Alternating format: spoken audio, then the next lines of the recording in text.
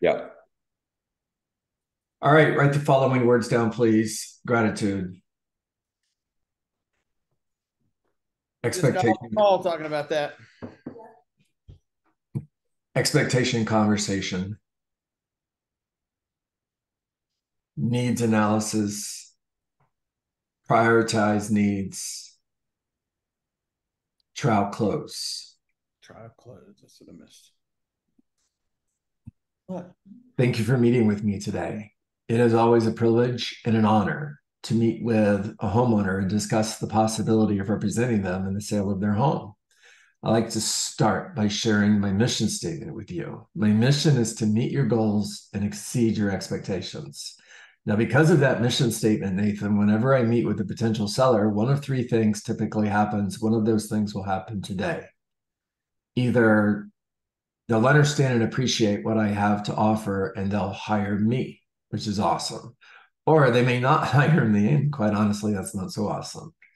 And then the third thing that occasionally happens is I may choose to turn the opportunity down. Now, Deborah, if you're wondering why I would choose to turn the opportunity down, I think you're going to really like the answer. You see, if I feel that a seller has a goal or an expectation that I cannot meet or exceed, I would rather turn the opportunity down today, Deborah, than let you down six months from now. Does that make sense? So, Matt, in order for me to know if I can meet your goals and exceed your expectations, I just need to ask you a couple questions let's start with on a scale of one to 10, with one being not so good and 10 being great. What needs to happen in the sale of your home that would cause you to consider the experience a 10? All right, there it is. Let's begin the conversation. We got through gratitude, expectations, um, and we are transitioning into needs analysis.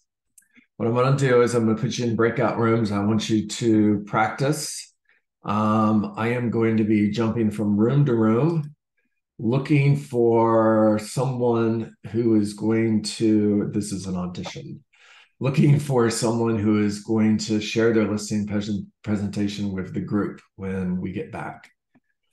All right. Hey, John. Talk to me. Can you make sure that I'm in a room with three? Because I'm about to be hopping in the car to drive. Yes. Thanks for all that food right there. Just I feel like stopping the call and going to eat now. And uh, yes, I can do that, Chandra. Thank you. You got it, girl.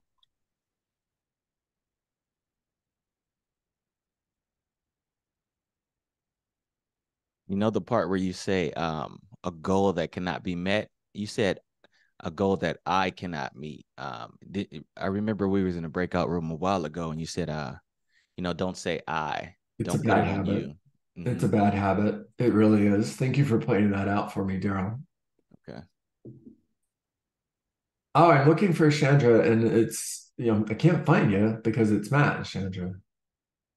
No, oh. I've got Matt. Oh, there we go. Stop doing this to me. All right, uh, let's do this. I'm going to move you to room two, and Angel is going to go to room four. All right, here we go. Hit that box. Man, I can't believe I did that, Daryl. Thanks for pointing it out for me. That cannot be met, not that I cannot meet. Thanks.